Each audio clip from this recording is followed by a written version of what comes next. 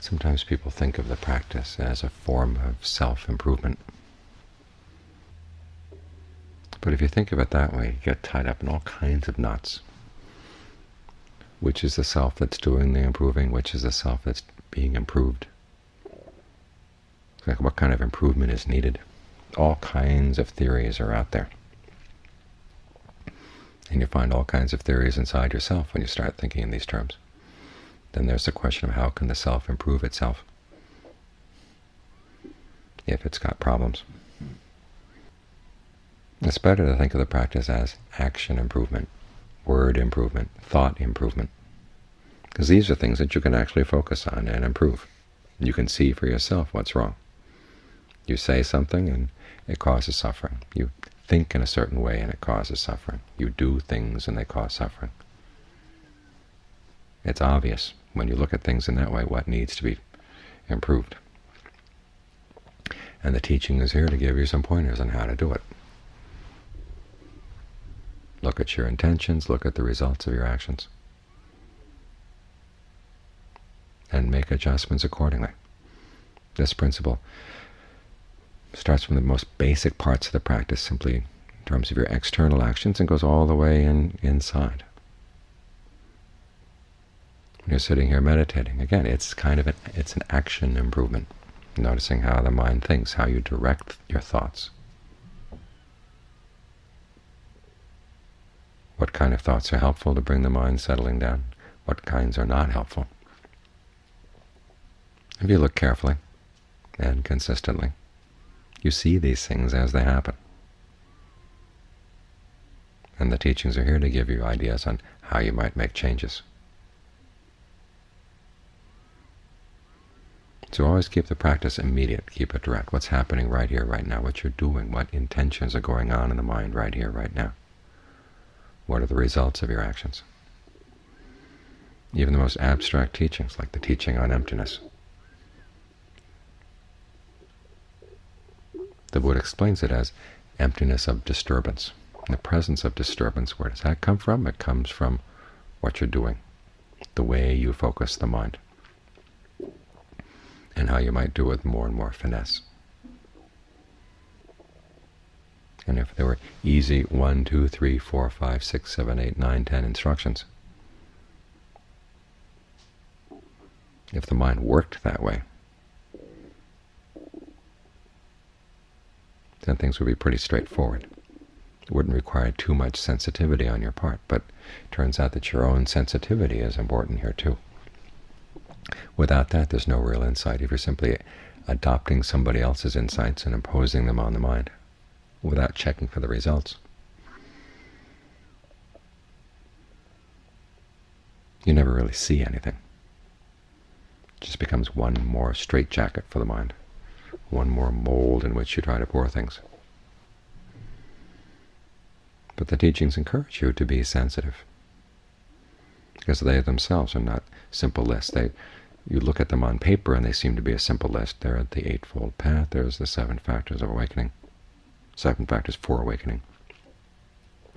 The four are this, the five that.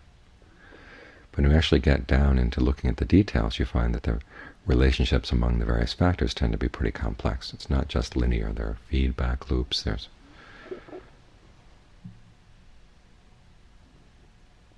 what you might even call holographic patterns, where one factor contains a few of the other ones. And the teachings are this way because the mind is that way as well. The mind has lots of feedback loops. And if we're going to deal with them,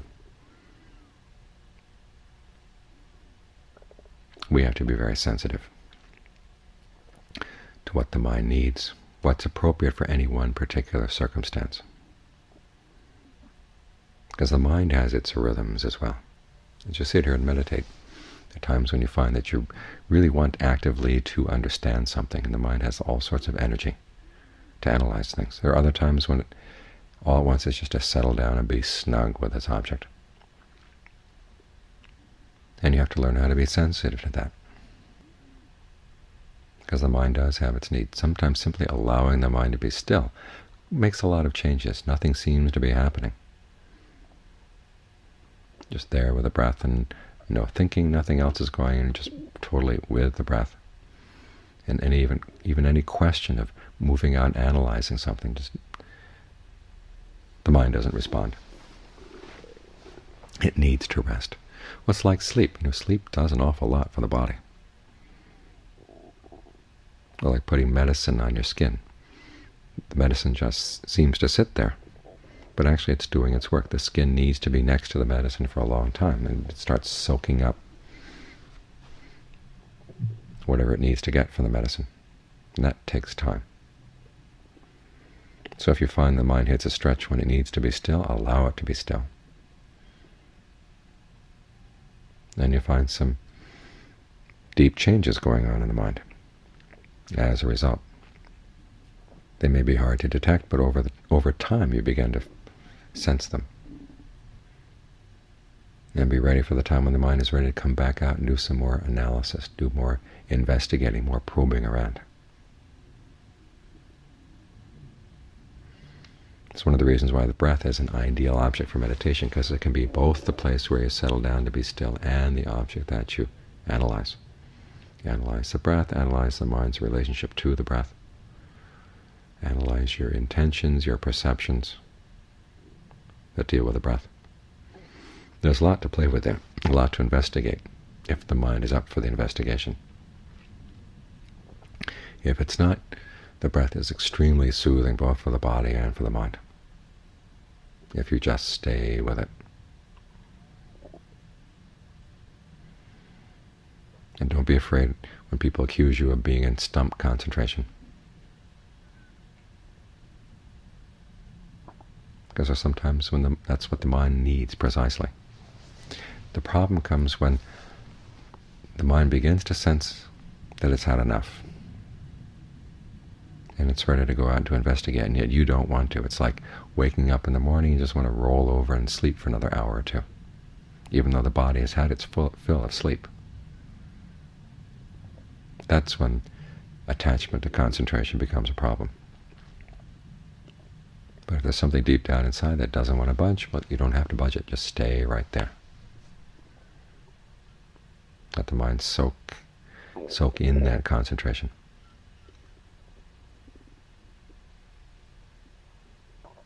Because the mind, like the body, needs to rest from time to time. It has its rhythms. The body's rhythms are pretty predictable, following the 24-hour clock. The mind's rhythms are less predictable, which is why you have to be very sensitive to what it needs. So when the mind begins to get still like this, don't be afraid that you've reverted or that you're regressing. Again, that becomes an issue of the self. What kind of person am I? Where is it? Where am I in the practice? What kind of progress am I making? Put those thoughts aside to keep asking yourself, what's the most skillful thing to do now? What needs to be done now? And in the beginning, it requires a lot of instruction in asking the right questions to get sensitive to what needs to be done. But over time, you begin to get a more intuitive sense of your own, what the mind needs, what a particular situation needs. So picking up on the fact that the mind needs to rest, that's actually a, a function of discernment. picking up on the fact that it's had enough, that's also a function of discernment. And if there were easy rules of thumb for this, it, practice would be a lot easier. It would be a lot easier to teach. But that's not the way the mind is. The mind is complex. But still, it's not so complex that we can't come to understand it if we're observant enough and continuous enough in our powers of observation. So again, this comes down to that principle of being sensitive to what you're doing, being sensitive to what the results are, and not being too quick to judge the results. Watch things over time. In this way, whether the mind is very quiet or whether it's more analytical, you develop sensitivity either way, which lies at the essence of the, of the discernment that we're trying to develop.